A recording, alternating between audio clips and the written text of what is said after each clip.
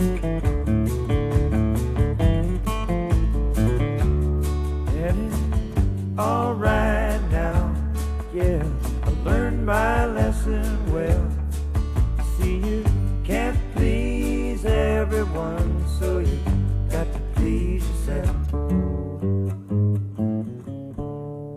Hi, folks. Johnny Laser here. This is a continuation of the discussion that we had after Bob Zeller's presentation on the 13th of February. You can watch the entire presentation by clicking the link in the description of this podcast. Do you know of any photographs or diagrams that exist of the inside of those cabins?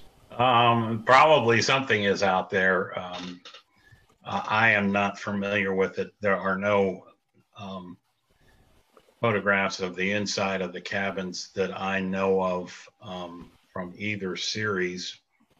That doesn't mean one won't show up. And if it does, because something new is popping up all the time.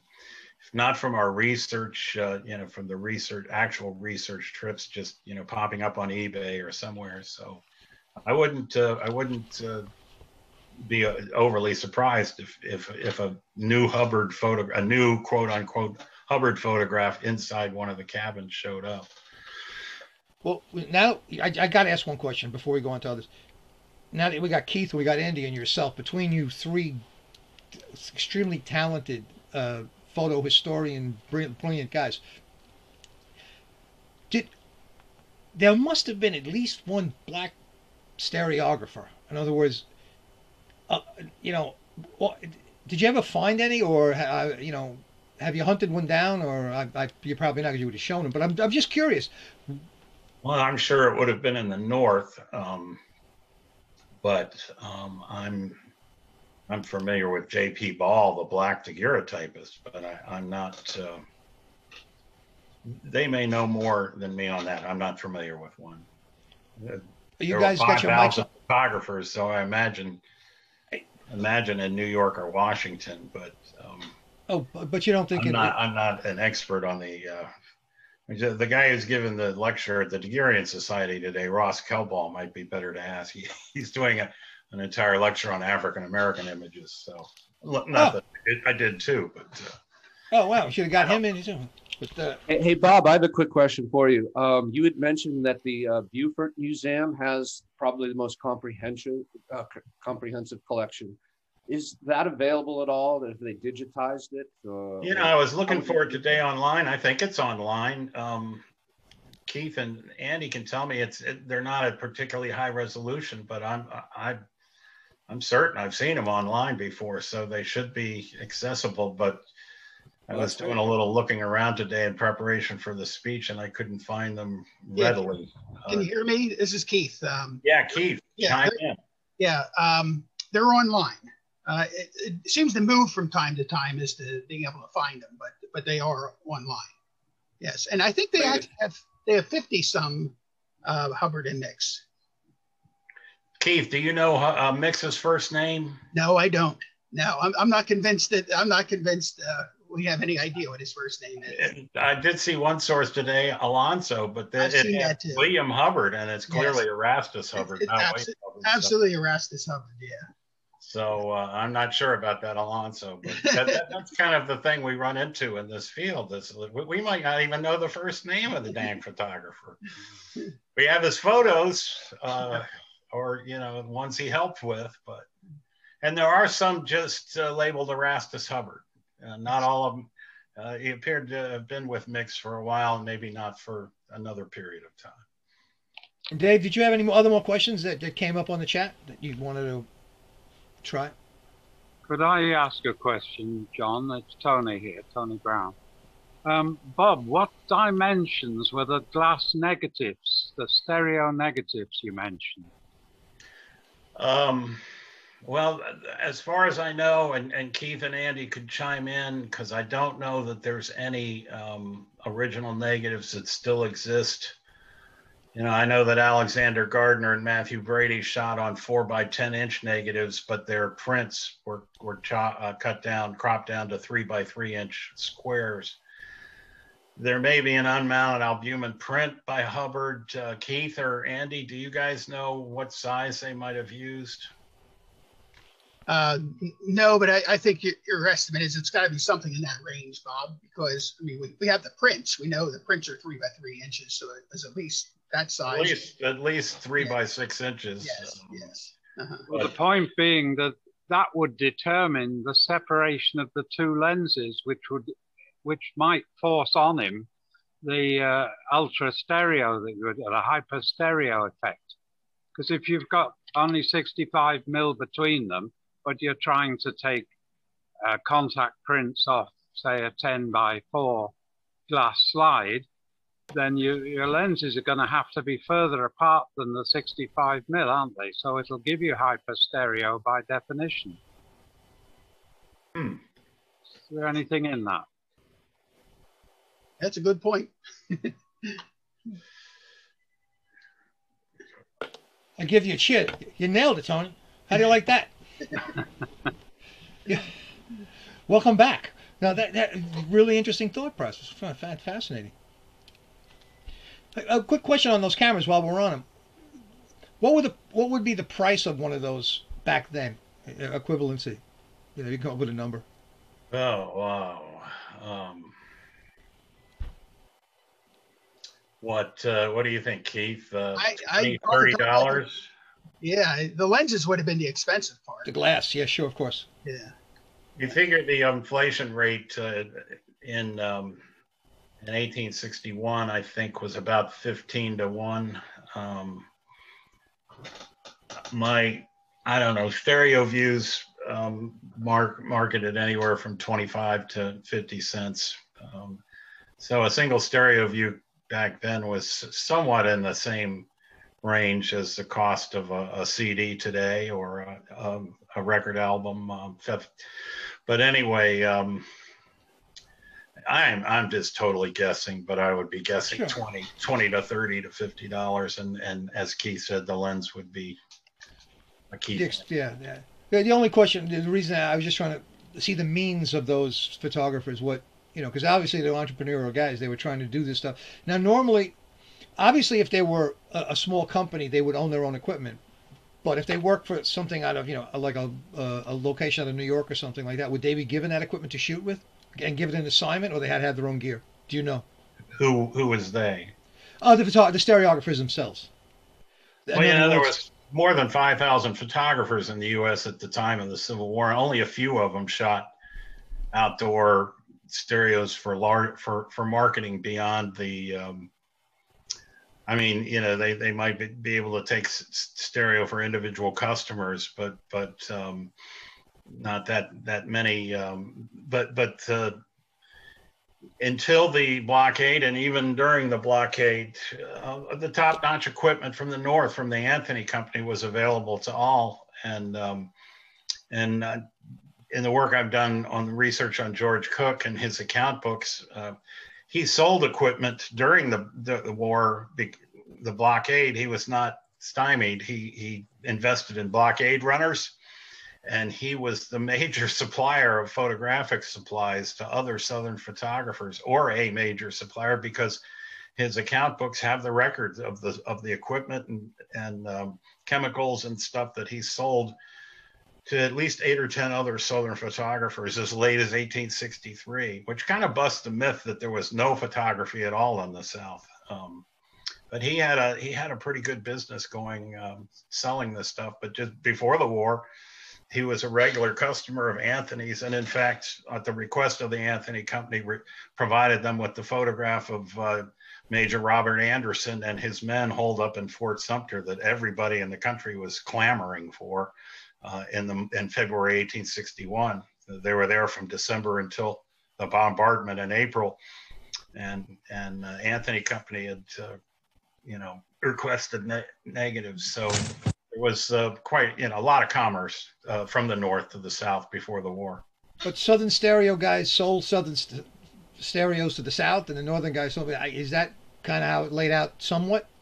Well, the the Osborn and Durbec views are, are kind of so rare in terms of finding prints that uh, I imagined that they were pretty much limited to sales to folks in the Charleston area. Um, after the war, some of the Osborn and Durbec pictures, including some of the Plantation series pictures, were uh, the other uh, Southern photographers um, like Quinby and Noel got their hands on, um, you know, the negatives or copy negatives and made prints and sold stereo views after the war of the Osborn and Durbec stuff. That, that shows how popular they were, how, you know, historic.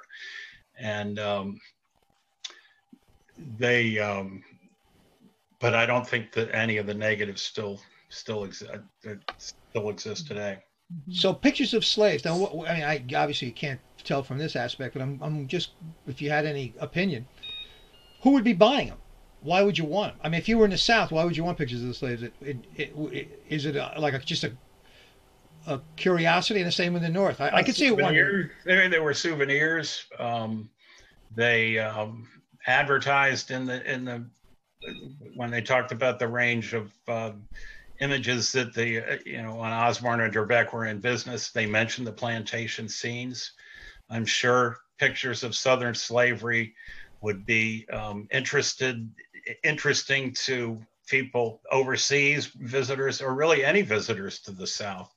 Um, just like you know heritage tourists are interested in you know that sort of thing visiting you know old plantations or or whatever today. It was a distinctive you know part of southern culture then and now. And um, so if you wanted a, a charleston souvenir that uh, was you know was a south carolina thing that photo those stereo views were definitely a possibility well particularly since the guys in the 1860 who were they again i don't remember all these photographers names the guys the guys in Charles Osborn and Durbec. Uh, th- those were the guys up. They were shooting. In, they did the actual plantation shots that we, the original ones we saw, the ones that. Correct. The the uh, 1860 views in Rock Rockville. So it's interesting. So that something drove them down there to shoot that, or. Well, and that's what one of the one of the breakthrough things about the article is. Um, I mean, we really didn't, you know, when I first saw these at Robin Stanford's uh, home in the, probably in 2002, um, we didn't really know much about them. And the, question certainly comes up well, why did they go all the way to Rockville? You know, they had plenty of plantations much closer and much more accessible. And they did shoot in areas outside Charleston, like Goose Creek. And, um, but the, the, the passenger list with the name of the, um, the brother of the plantation owner on the same vessel as Osborn um, would suggest that it had something to do. Maybe the the um, they requested it, or maybe that was maybe there was a friendship thing. It, it went beyond just shooting them for that family though, because they did market them um, and advertise that they had you know plantation scenes. Were those advertisements in Southern papers and Northern. I'm not sure how that. Just, just Charleston papers. I mean, I'm not Charleston sure. Papers. Maybe outside of Charleston, just Southern, and I think just Charleston. Well, that's fascinating. So now you have just just to, to finish up. Um, you said there was a new book or do something coming out with that Keith was working on, or you guys are working on, or something happening. What? Well, we have um, we have three issues a year of Battlefield Photographer. Um, I like to say we have an unpublished, unpublished on the printed page Civil War photo in every issue um, because they're they're not.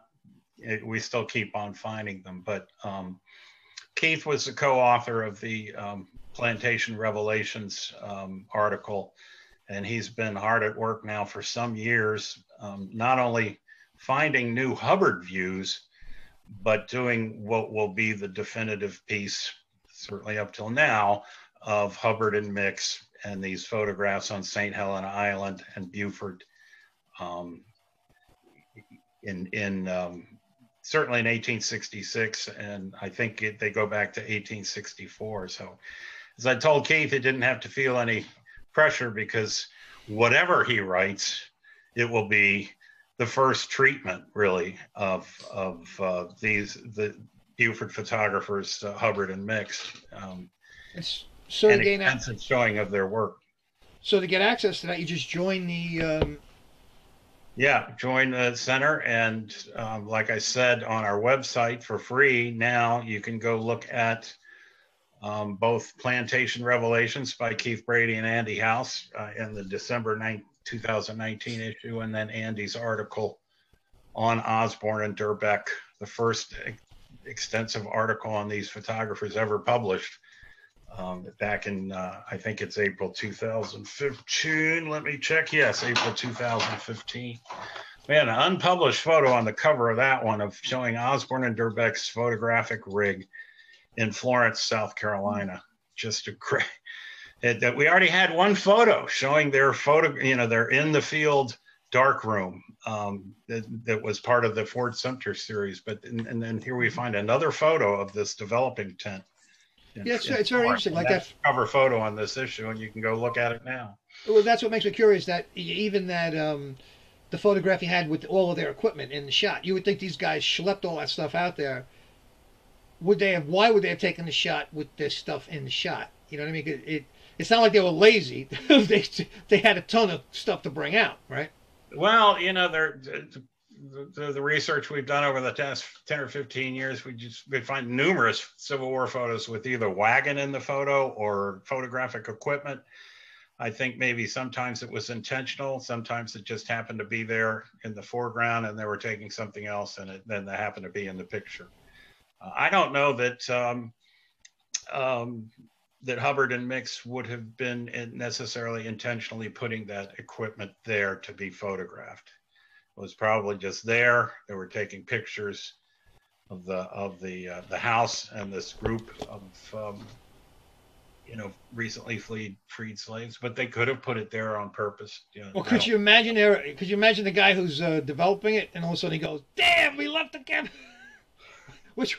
You idiot! You left it in. No, I, let's hope I, that. You know happen. that, uh, that according to Rob Gibson, a, a modern wet plate photographer, that yeah, sometimes he has to run with the um, plate holder to the developing outfit from the camera, lest the thing dry and dry too much before he gets there. So they they they needed to get it to the um, into the developer as quickly as they possible while the plate was still wet. Well, certainly with all of that, you realize the complexity of getting on those locations, the complications that the people had who lived there. Obviously, they were slaves, and the complications of guys getting the equipment to those locations and finding it wasn't as easy as taking ten pictures and seeing the best one. You know, you really had to spend some time. That's why it's fascinating to me that that would be the, the, the, the reasoning behind that. Well, I assumed for 20 years that, that, that they went by land but I imagine it was a lot more difficult by land than just getting on a boat and going down to the. Uh, it obviously was. It, it, should have been obvious to me. Oh yeah, well, he probably took a boat, but I took didn't. You know, I didn't know that they had steamer service to Rockville in 1860 from That's Charles. Say that. There's a lot. They obviously had extensive steamer service all up and down the Low Country. Well, between you and uh, Keith and Andy and John, uh, you have just you left us better than you found us. That's for sure. Now, uh, I wanted to ask real quick, Bob. Uh, are all the pictures in the magazine and online? Are they side by side as well as anaglyph? No, no. Um, if you want to see them side by side, the best best place to go is the Library of Congress. Um, okay. You can um, um search for Osborn Durbec or uh, Hubbard, um, and they'll all come up. Uh, or, or the you know Beaufort County Library. Um, generally, when we publish um, 3D fo- photo in the in the journal, it's um, an anaglyph uh, because we can publish it larger. Sure. Um, but we do sometimes, you know, just to show the vintage view, um, publish the um, uh, the uh, view as a side by side stereo view, generally about at at full size. Um, very, very rarely will I use a, a, stereo view as a half stereo. And if I do, I, I identify it as such. Well, Thanks. does anybody have any other questions? Then I will say this. We'd love to have you back. Don't, certainly don't, uh, oh, Andy, Andy's hands up. Is that a, do you have something to say, Andy?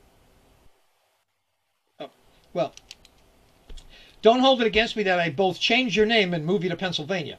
You know, I'm, I'm just, you know, as happens to friend. You know, you know, I love. I don't know where you got Pennsylvania from. I've lived in about five states, but I was thinking of the what, what was the, what was the big battle near uh, what was it? Uh, the, the, the Pennsylvania, the ba- uh, you know, you know how much I know history. I fell asleep during most of history. uh, well, I don't know, Valley Forge. Well, one of those, yeah, that's what it is. It wasn't I even was- about Gettysburg. Yeah, was the one. Gettysburg, Harrisburg. It was a burg. I just had the wrong Gettysburg address.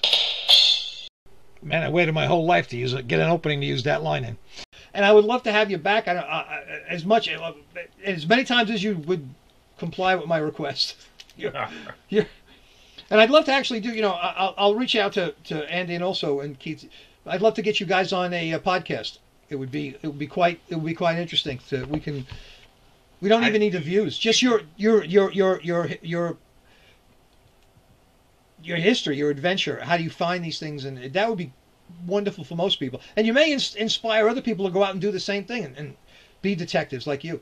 Well, the uh, the untold story here, I mean, because we only have room for a certain number of stories, um, but you can see it in Battlefield Photographer online in that 2015 edition that Andy just alluded to in the comment was that James Osborn uh, was born in New York and he's buried in Brooklyn.